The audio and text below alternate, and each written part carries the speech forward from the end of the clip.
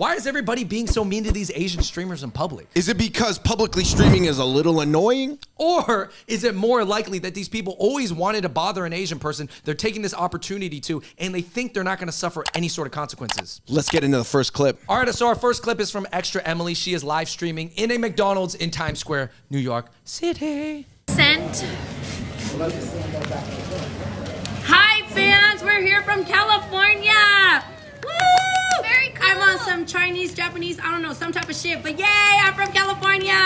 Damn, you can see the exact moment where extra Emily's like heart breaks and is like, damn, I'm being trolled right now. I thought I had a friend from California come in to join me in this McDonald's Times Square. And she's like, yay, foreigner friends on my live stream. And she's like, yeah, I mean, I guess whatever. I'm on this Chinese, Japanese, whatever. Yeah. Bye.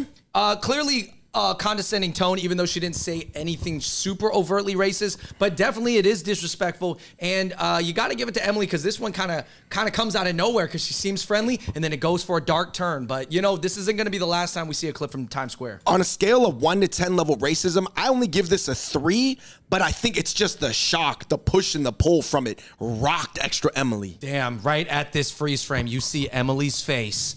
Realize that girl actually didn't really like Asians. Yeah. I heard that this girl actually graduated from Columbia, an Ivy League university, and quit investment banking because she made more money Twitch streaming. Well, yeah, keep on twitching. All right, number two, our second clip is Joey Cow in France. Let's see what happens. the Liv Liv the Nico Liv the Vico. Yeah, this is the Liv the Vico Magno Arc chat. Wow. He realizes. What'd you say? No, don't go away. What'd you say? Why are you walking away?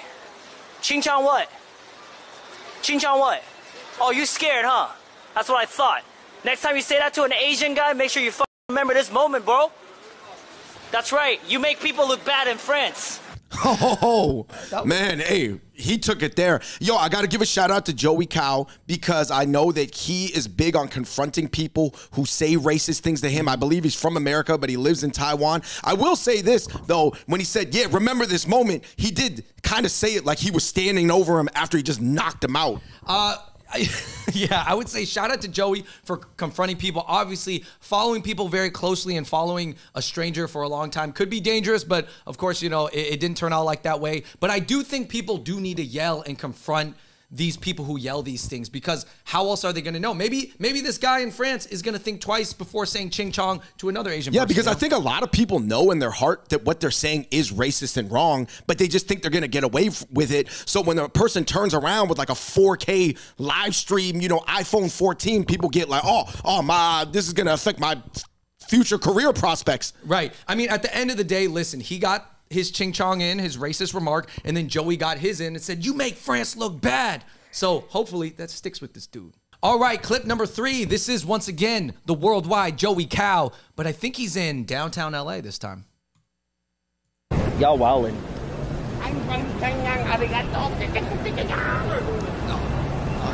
That's very funny in 2021, sir.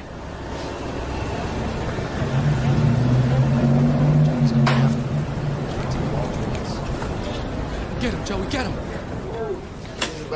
Yo, I was like, that was kind of funny. You kind of had me there, but just saying it's not funny to be kind of racist in 2021. All right, get that shit out of here, bro.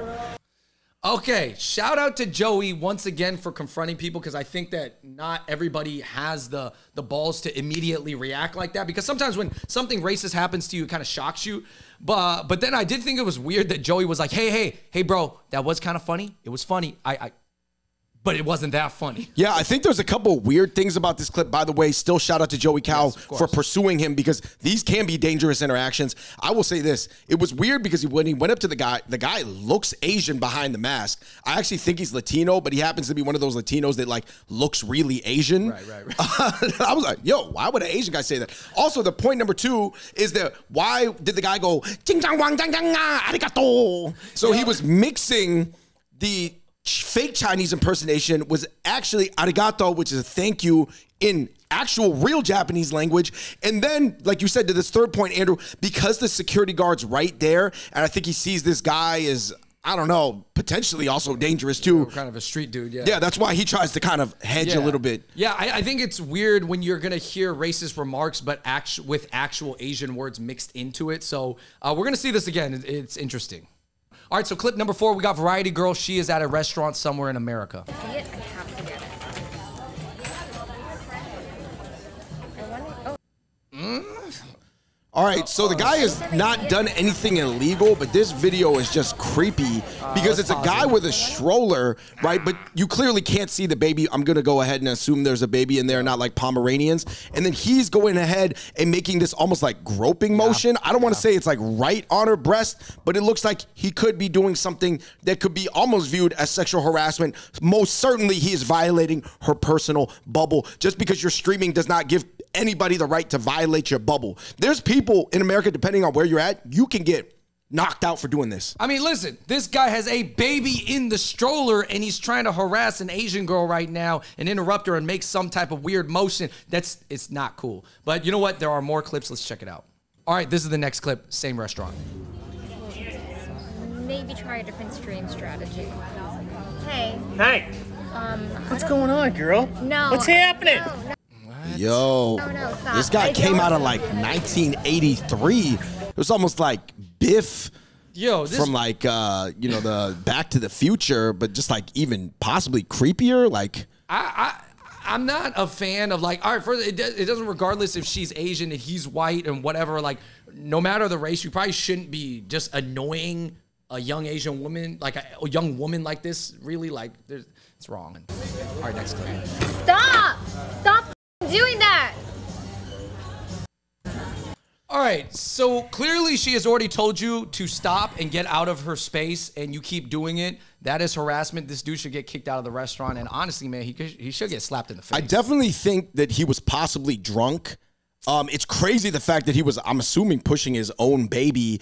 And then he's still kind of acting like he's the star high school quarterback and he's about 16 or 17 years old. And this is just like a little cute Asian girl that like nobody knows at school. But here's the thing if you act like you're like the star quarterback and everybody's in high school together, but you're an, actually an adult, you could be actually uh, deserve to get beat up. Dude, it's super juvenile. This is like when the school bully walks past you on your desk and just goes with your papers and then just No, like walking. like I It's the said, there, thing. there's things that are acceptable when you're 14, 15, 16, even though they're still frowned upon. They're like within the range of like logical outcomes that as an adult, uh, you can get fired and lose your job over. For some reason, it feels like when people see an Asian out in public just doing their thing, it makes people want to mess with them in the most immature way possible. Obviously, I think the fact that he's highly attractive, uh, attracted to this girl, is playing an aspect of like almost like a fifth grader, grader trying to flirt. You know, it's like you like uh, mess with the girl that you like, but you don't know how to express it, and you're insecure, and you're trying to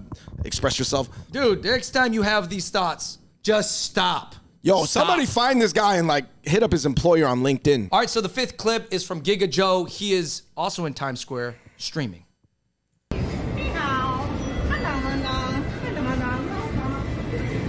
Hey, what's wrong with you, man?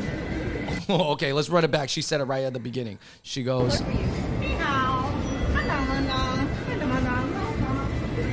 dude, she goes, Ni hao, someone, and then she keeps- And it's crazy because she goes on for like maybe two seconds longer than you would think. So she's like almost like just saying it into the tunnel. David, is it weird to hear people mix in real Asian words? Like, at some point, someone's gonna know enough Chinese and is gonna be like, "Ni hao, ni ma ma, ni hao ma," and then it's just like you're just like, "Damn, yo, you're like kind of speaking it, but like I know you mean it in a racist, condescending way." Yeah, I would say the top like words that non-Asians know, it goes like ni hao, konnichiwa, and I think a lot of like K-pop fans actually know anyong or annyeonghaseyo, but they never say it in a racist way. Whenever, whenever I see an Asian face, I just feel like spilling out any type of Asian phrase that I know. Just "Ah, da, ma, ni hao, konnichiwa, I got that."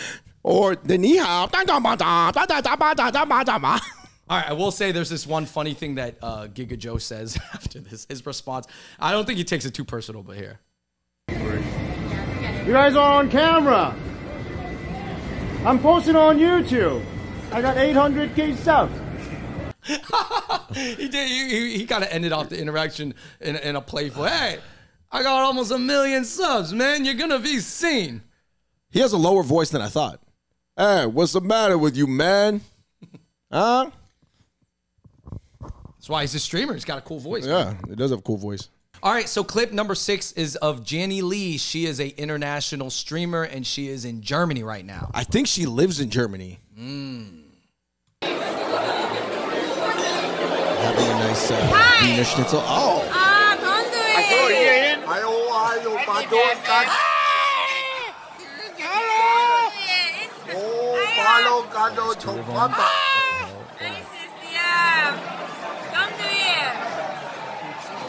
She's literally telling you to stop. Okay.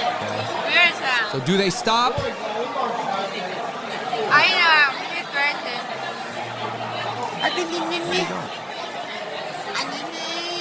Hey, that, that's racist. I love Germany. Don't be, don't become racist, please. that's crazy right here. He looks Racist. he looks right at her. A her. lot of people. Honestly, all right. Uh, you got to get that freeze frame right here to look Oh at someone right there. Gosh, that He he. The last second, he still wants to do it. He's like, ah, ah, what, what? I mean, I heard that this is in Munich, Germany. I don't know much about like different cities in Europe, but I heard that that one's a little bit more of like a ratchet city. That's what someone told me. Listen, I these people are racist just like any other person can be. I do think that in Europe, and this is after meeting a lot of Europeans, that um, they do have a different relationship with racism. I feel like sometimes they think they're a little less sensitive to it. So they feel like, oh, you know, I can talk crap, you know, don't worry. I don't mean in a bad way and want to hurt you. I'm just like making fun of your face. You know, that's a French accent, but there, there's some French guys later in this video. I mean, long story short, yeah, they have a different relationship with it. They'll be like, I did not hurt you. I did not hurt you. It's not that big of a deal. No, but it's clearly disrespectful. Racist. I mean, it kind of reminds me of when the Spain national basketball team that had Paul Gasol and Marc Gasol on it, Andrew, did the And Ricky eye. They did the they did the eye thing when they went to Beijing for the Olympics in 08.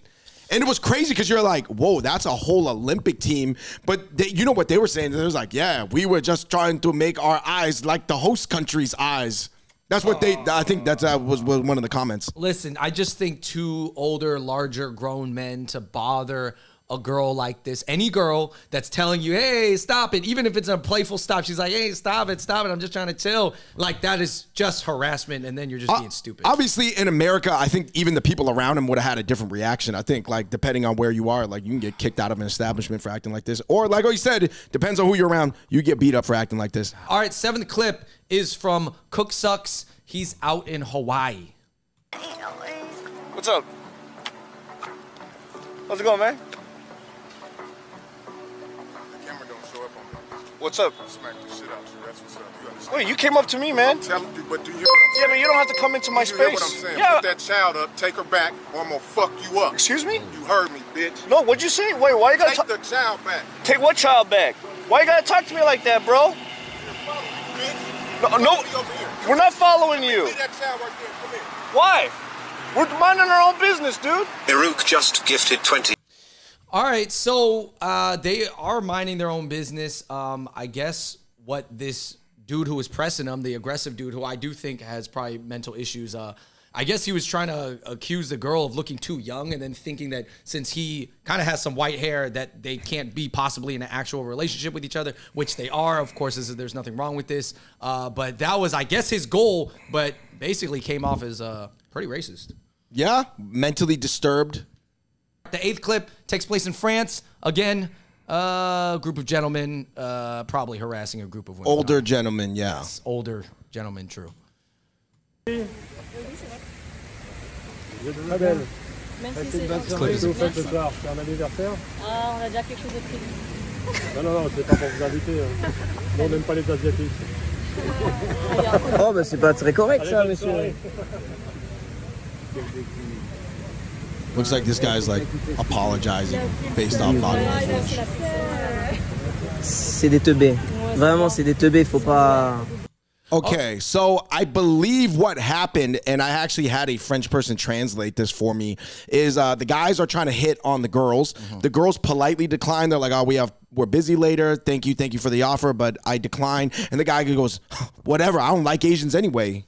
Yeah. Um, and then the guy in the red kind of tries to be like, uh, don't mind my friend and his comments. Uh, sorry about that. Um, yeah, it's always funny when the friend always tries to apologize for their racist friend instead of telling their friend at that moment. You know, like I, like, do you think it makes up for it?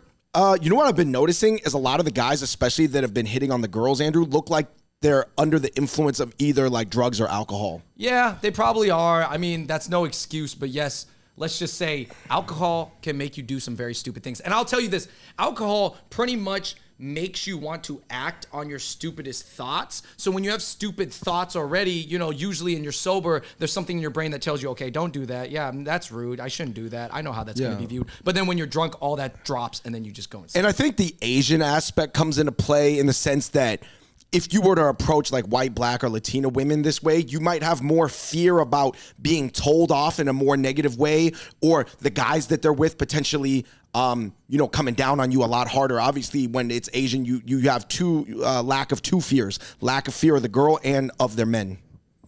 All right, so for our ninth clip, we have a streamer that is out in Toronto at a Chick fil A. Good. From India. Okay. Let's hang out. What? Let's hang out. Why? Because I'm from India. Because you're from India, we should hang out? Yeah, I'm wearing women's clothing. Okay. You want to hang out? I have nine hundred dollars, so we could go somewhere else and eat instead of Chick Fil A. No. Go to our restaurant. Thank you. Okay. What? Yo, that was I don't know. Yo, that dude was clearly like, you know, on something, on some substance, but that was just a very weird conversation. It's kind of creepy. Yeah, I mean, he didn't Well, say kinda, I mean, let's be honest, it, it was funny. It was funny and creepy. Obviously, he didn't say anything super outwardly racist, but I do think he's approaching her because he th- he thinks that she's just a cute Asian girl who's submissive, soft, probably not gonna yell back at him. You know? Yeah, no, he had the. I'm from India. Let's hang out. Let's hang out. Dude, he had a weird like, what a pitch! Ninety nine dollars. We can go somewhere. I'm wearing women's clothes. Like he thought, yo, I'm wearing women's clothes. That's that's gonna. I, I will say this: her. he he sounds like he's like maybe not even from a super uneducated background, but he maybe just got addicted to substances because he did lay out some sort of uh, plan, but then obviously she rejected the plan. So anyway, the wrong man with the plan. you know what's really interesting because this is Toronto. There's actually so many Desi people around. There's actually a Punjabi Sikh guy in the background. He's kind of like looking at him like he like he was about to protect her if he was getting if he was getting too crazy. Yeah, there was this Sikh guy. After the after the dude walks away, he kind of looks over and is like, "Damn, man, why'd you do that?" Well, he's probably like, man, why you you're making us look bad? Like. Our tenth clip is actually a compilation of Jeannie Lee, uh, back with Jeannie Lee, and she. Uh, and I think she's back in Munich. She always tends to go through something, man. Yeah, that's tough, man. Yeah, I- like I have to apologize on behalf of everybody in Munich. Listen. like it's not everybody, okay? Just because you have these instances that happen to be captured on the live stream, it doesn't mean that it's everybody on yeah. Listen, live streaming in Times Square, New York, in Germany, apparently. That those are the danger zones. No, yeah, yeah. Those no, are the mid- no, no, Andrew. mid- interaction central. Midtown and Munich. What? Yeah, she made the sound effect and Yo, everything. whack. Douche. Dude, shoot the fake punch. That was super disrespectful. She almost hit me, right? Ching chong. Yo, he went with the three ching chongs. Yeah. Well, he has a drink in his hand. Clearly, he's he's probably under the influence. But I, I don't doubt that these people aren't thinking this when they're sober. Obviously, Jupe jeans. Get out of here. Oh, Jupe is one of those fragrances they try to sell you on Canal Street. You know what's funny about this guy, man? He didn't even think what he said was that bad. He's just like, "Oh yeah, are you good? Okay, yeah, I'm just messing around, right?"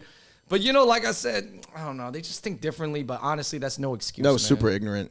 Sorry, I, I will not. Dang. And then Dang, someone hit her hidden. camera. What- Dude, why do you have to hit her camera? Like, literally, she's not even filming you. She's not even walking in your direction. Like, I would even, like, I don't know. Just people want to mess with Asians with cameras, man. I'll tell you this when you're out in these cities, walking around downtown, you have a big selfie stick out, you're talking, and people see you doing something. Honestly, it does attract like some of the worst energy. I will say more than 50% of the people who want to interact with you are going to do it in a negative way. Most likely, the people who want to respect you are actually gonna just gonna leave you alone. All right, number 11, we got Jade Yan. She is confronted by some racist strangers during a live stream. I think this is in Frankfurt, I believe, and they're all Vietnamese Germans. I know you're Asian, but which part? We all are Vietnamese. She's. Du bist 100% Huh? Du bist 100% Vietnamese. Ja, amerikanisch. Okay, she's. On there, she's. Ching Chang Chong. chong Ping Pong. What's your name? Uh, what's the name from football? What? Hold up. He says ching chang chong ping pong. Hey, what's your name? What kind of pickup line is that, Yo, man? and he bit the lime like that was just the end of a punchline bar. Like he said, "Ching chang chong, ping pong." Hi. Oh, yeah, man. And he looks ethnic himself, like possibly, you know. He kind of actually looks like Asian a more, at least Middle a Eastern. I more don't know. normal version of Beetlejuice. Actually, this one dude. Anyway. Like, why do you say she's a fucking racist? Yeah, it's fucking racist. What the fuck is going on? So this guy's trying to be like, uh, my friend is just uh, trying to make funny, and make funny you we can uh, make flirting conversation. Let me tell you this, guys. If the only funny thing that can come to mind is ching chang chong, you are an idiot. Like, what, what was the point? Like, you could have just said hi, but you have to say ching chong chong. It's not funny. Funny, funny. I'm trying to be funny. No, he's like really trying to reason. Yeah, yeah, you know, it's like uh, it's a joke because you know, ching chang chong. It's like a funny. That's the punchline. It's the ping pong. You know, it's a ping pong. Not funny? It's not funny. Why? What? But why is it funny to say like ching chong chong? But he, he mean only uh, funny. He wants. It's uh, not funny. Yeah, he's funny because uh, it's it's racist. It's racist. That's why it's funny. It's racist. Okay, no Yeah. problem. Fine. Yes. Then What?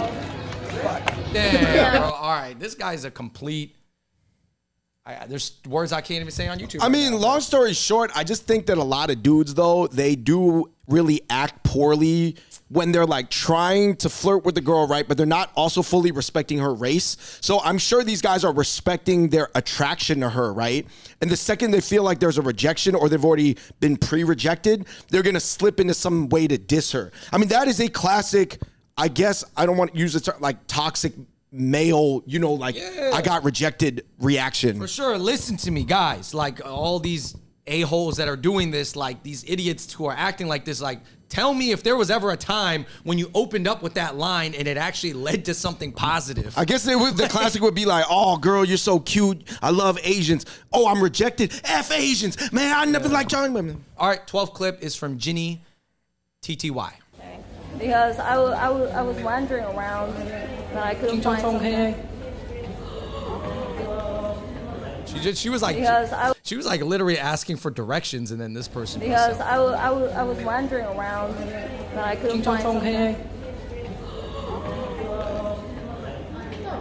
He went with that ching chang chong hey. And it was interesting because I guess if I had to analyze this one, ching chang chong, obviously back to the Chinese mocking, right? But the hey, I almost feel like that was more driven by Korean. Because in Korean, you hear a lot more "Heh, nah. I'm just Either way. saying that nowadays it's interesting because the racism is mixed, right? There's some real words or real like rhyming expressions that are slipped in there, sort of like we seen the arigato, the ni hao, the he, ne, uh, but it's still all racist. But I, I guess in a way, um, there's more real words slipped in there, possibly. You know what's so weird is like this girl's like kind of asking for directions, or she's like, "Yeah, I'm just walking around trying to figure things out," and then he goes, "Ching chong chong." eh." It's almost like if a French person was in New York, it was like, "Uh, excuse me, uh, can you help me with some directions?" And I said, "Ah, bleu," just out of nowhere, and then No, but then you'd have to follow it up with some French gibberish because Yeah. sacre bleu is a real Sacre expression. bleu, bleu, de chevaux, hors d'oeuvres. No, yeah. And then like Voulou encourager avec moi, zezwam. And, and then the French person would be looking at me like, oh, why are you doing? What are you doing? Like, our last one is a racist attack on an Asian Twitch streamer. I believe this is happening in Canada. I know you're filming That's your fucking all. hooker ass. Get this hooker here. Huh? What? What, you, you filming too much? What? Why you answering back? What, you're informing me to the station? Huh? What you call the station right now? What's your problem? What's with your me? problem? No, what is your What's problem? your problem? What's your problem? You gonna call the station? Go ahead. Yo, it's crazy because she said something super. Ca- well, I know it's Canada because that lady's trying to help her along. There's no way right. in America like- anybody would ever She's do like, that. oh, keep it a moving, eh? Like, this lady is crazy. All right, if I was to analyze this final clip, Andrew, this lady who apparently is part super Canadian, like provincial, like, oh yeah, you look like a hooker, eh? Why are you recording a hooker? He's recording herself, eh? And then all of a sudden switches into a 1977 NYPD officer when you're like, hey, you want to take it to the station? Yeah, yeah, Bugsy. Yeah, we're gonna call Bugsy Malone and we take it to the station. So I was like, yo, is that I guess Canada really is a mishmash of cultures. Yeah, do you think this has anything to do with like the infantilization of Asian people? Meaning that a lot of people view Asians to be younger or look younger or be more like kid-like, so then you kind of talk down on them like kids, even though that they're like kind of clearly adults. Yeah, I think that obviously it's not 100% of all Asians. If you are a really tall, buff, tatted Asian with full sleeves who looks like you would play a triad or something like that in a movie, you can totally avoid this. And to be honest, and this is like a little bit of a deviation, Andrew, I think that's actually why a lot of Asian guys take on that identity, whether or not they're actually in the triad world or not. Overall, Andrew, my major takeaways are this. Um, if these live streamers are out in public with the camera on, right, and obviously this is being disseminated out to the world, mm. you can only imagine how many microaggressions that people go through that are not documented. Yeah. Because I've heard it all the time on the streets of New York, everything from ni hao shishia ni to go back to China to F you chink or to like go eat dogs or go eat rice Yeah, or look yeah, at your slanted eye, blah, blah, blah, blah. I've heard all these things, but since I'm not a live streamer and I don't have my phone out at all moments, it wasn't recorded. So, I mean, I guess it just shows you a fraction of what people potentially have been through. And I think that um, every Asian, to be honest, deals with microaggressions differently. Like you said, some people come over here, Andrew, and they understand or, or, or they build in a level that they're expecting. And then some people kind of buy into the fact that it should never happen and then they're extra hurt. So I think that uh, people do have different baseline expectations, right? Based on what you've been raised and people around you have been through.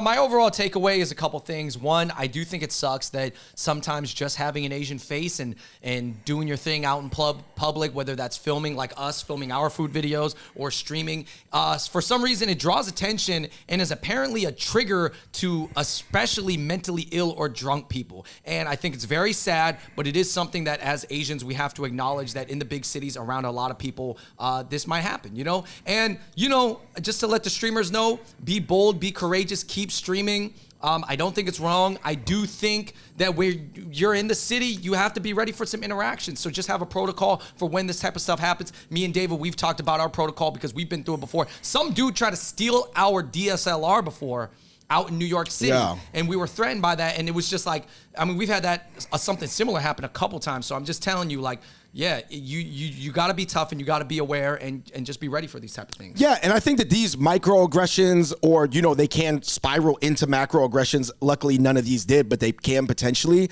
The final thing I will say is that clearly, a lot of these people, Andrew, deep down, whether they were drunk on uh, the influence of different substances, potentially drugs, um, they still knew they were being wrong. Yeah. Because when you shove a camera in their face, they still go, "Oh, oh, yeah, yeah, no, Oh, no." now they sober up. Yeah, once you let them know, hey, your face is going to be out there on the internet, then they're like, oh, okay, all right. Yeah, well, clearly uh, th- they felt like they knew they had a negative impulse, but they scratched it anyway. But once the camera comes on them, very, uh, I would say like eight out of 10 people are going to back down or try to flee. Dude. Anyways, guys, uh, this is gonna happen more, but uh, yeah, we just wanted to cover it because these were a lot of viral clips from Twitch. And uh, please let us know in the comments down below what you think. Like I said, guys, I think that racism and microaggressions sort of rank on a scale of like one to 10. Uh, you decide where your threshold is at. Let us know in the comment section below what you find offensive and what you do not. Until next time, we the Hot Pot Boys. We out. Peace.